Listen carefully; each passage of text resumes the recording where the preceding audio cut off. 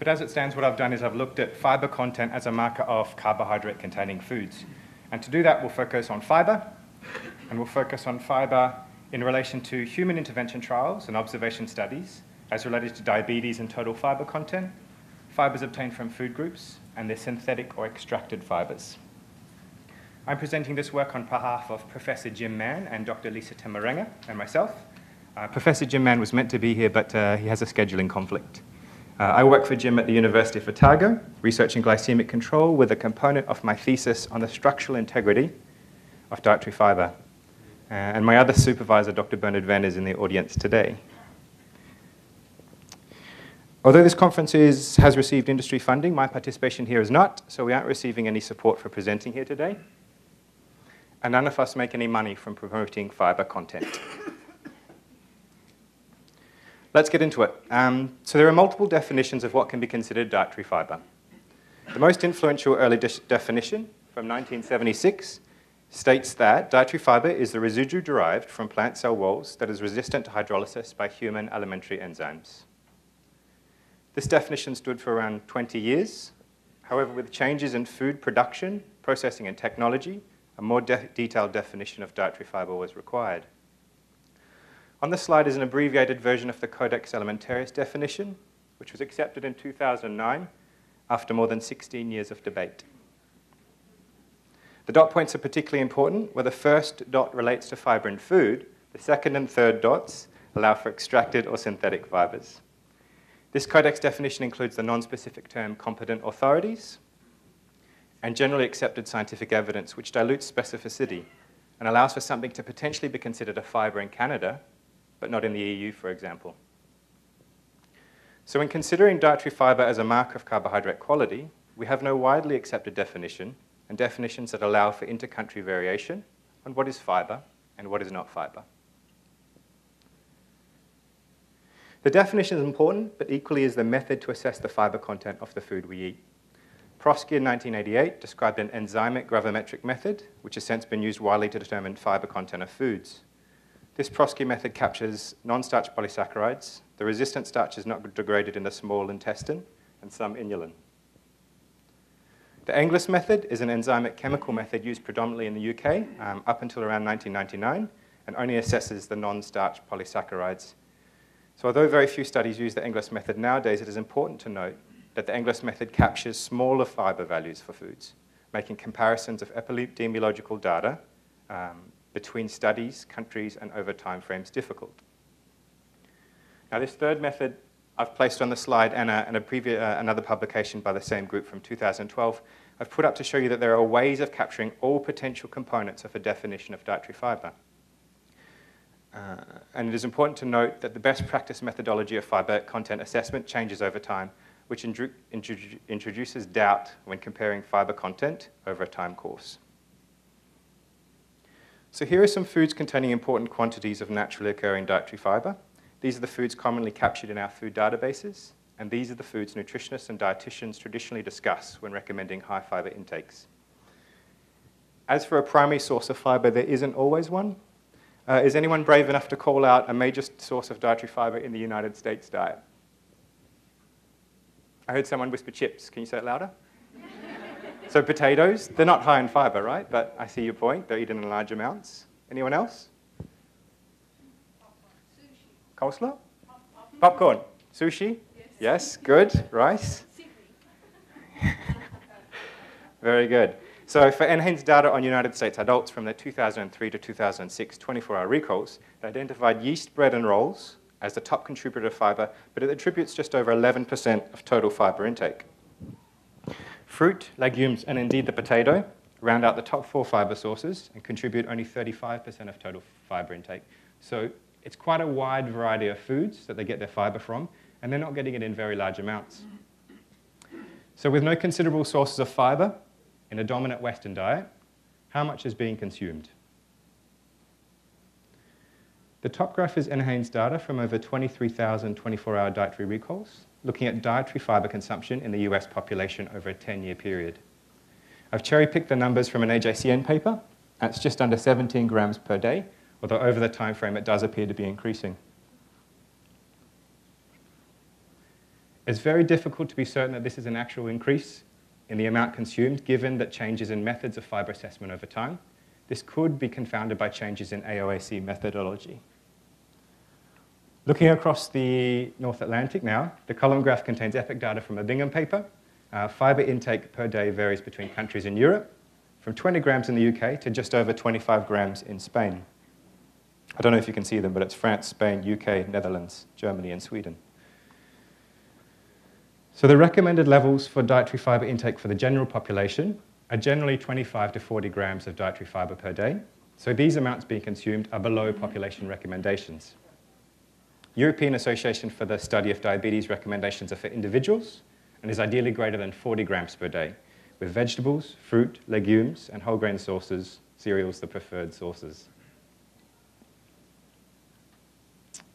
So for connections between dietary fiber intake and diabetes, um, for an observational study, here was a slide from yesterday. It's a Frank Hu um, published a review of prospective cohorts as a meta-analysis,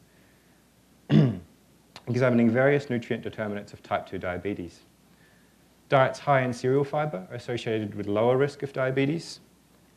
Just one here. And vegetable and fruit fibers uh, did not appear to influence diabetes when looking at prospective cohorts. Not shown here is legume fiber, which showed similar non-associations with diabetes risk in the Nurses' Health Study as the fruit and vegetable fiber um, sources do here. And uh, possible reasons for this is that the non-associations, for the non-associations is that there is a little difference in fruit, vegetable, and legume fiber consumption between the low and high consumers in a general population. Uh, and this is still a very viable area of research. There was a prospective cohort study published just two weeks ago in diabetologia in 30,000 Europeans with similar findings as presented on the slide here for fiber content. Considering intervention studies, this is one of the first randomized controlled trials on a high fiber diet in glycemic control.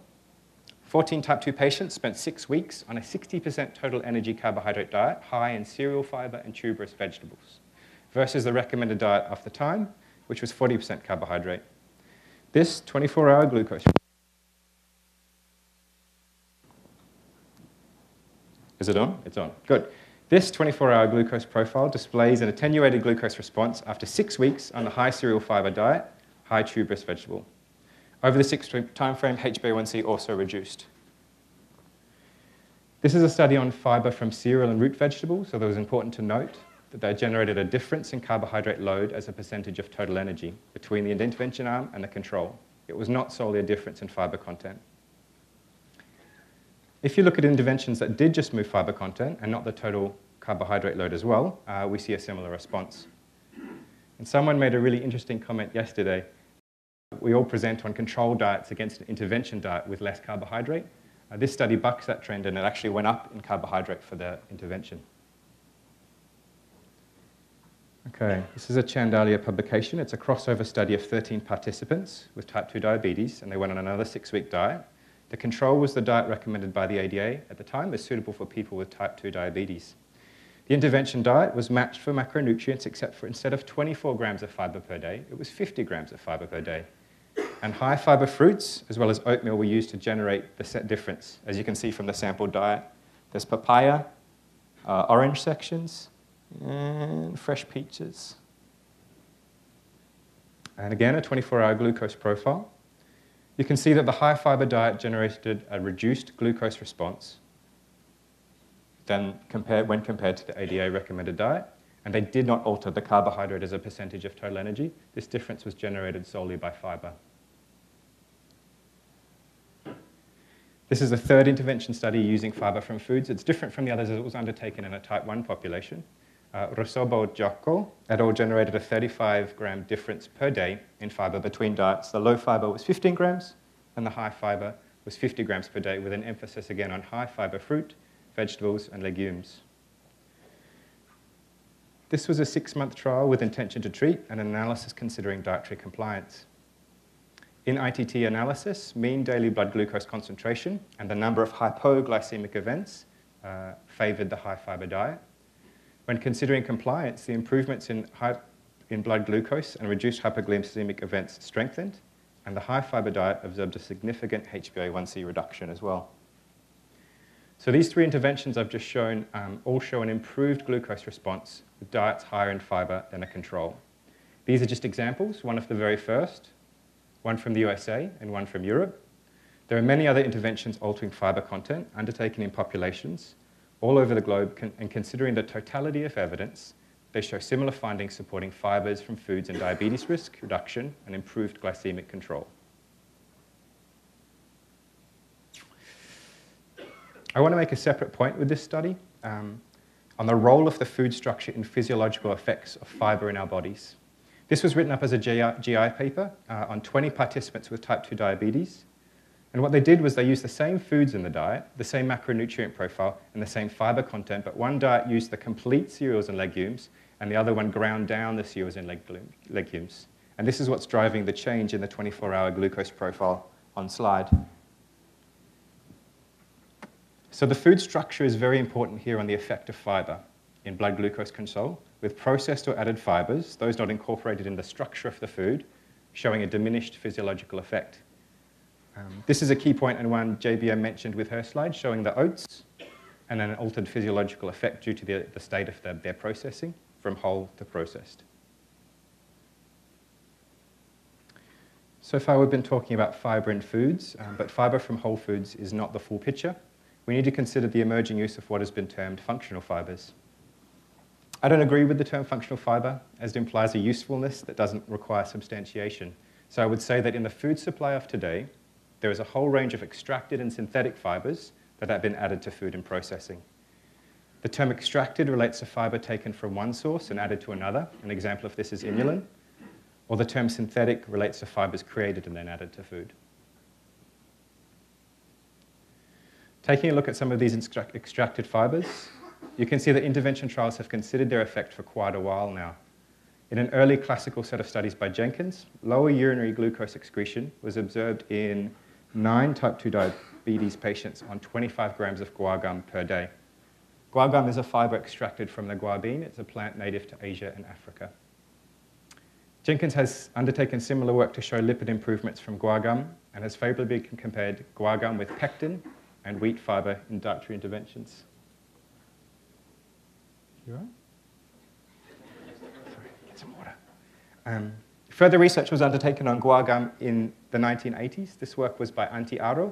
It is a three-month intervention with 21 grams of guar or placebo per day for nine participants, and again with type 2 diabetes. After that three months, you can see considerable differences for postprandial blood glucose response, and it's not driven by an altered insulin response. The top one there is the blood glucose. As with Jenkins, Aro also considered CVD risk and observed significantly lower total cholesterol and LDL cholesterol with a 15 gram of guar gum per day controlled trial. I've decided to present on guar gum today as an example of extracted fibers, but it's just one of many. Inulin, chitin and chitosan, and xanthan gum. Other examples of fibers extracted from one source and added to processed foods. There are many intervention studies on these extracted or synthetic fibers showing their physiological benefit in glycemic control.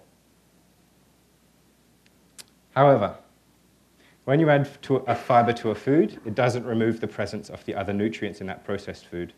And this is our last key point for the talk. Extracted fibers are added to a range of different products, processed products that may contain various levels of other nutrients such as saturated fat, added sugars and simple carbohydrates, sodium or excess calories. This yogurt, for instance, is low in added sugar. Um, and they've boosted the fiber content remarkably. It's up to 20% of the da daily value. There's negligible sodium and saturated fat. From the perspective of adding nutrients um, that we try to minimize, they've done a really great job. Um, for these cookies, one cookie has 10 grams of added sugar and 2.5 grams of saturated fat. I'm aware that you could have no chance of seeing these from the back of the room, so I apologize for that. Um, once again, the fiber content looks really good in these products with the dietary fiber 5 grams per one cookie, giving 20% of the recommended dietary intake.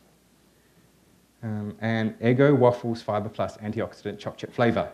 Uh, I haven't had the chance to try these yet, but if you, if you know where to get them, I'm, I'm on the lookout for them.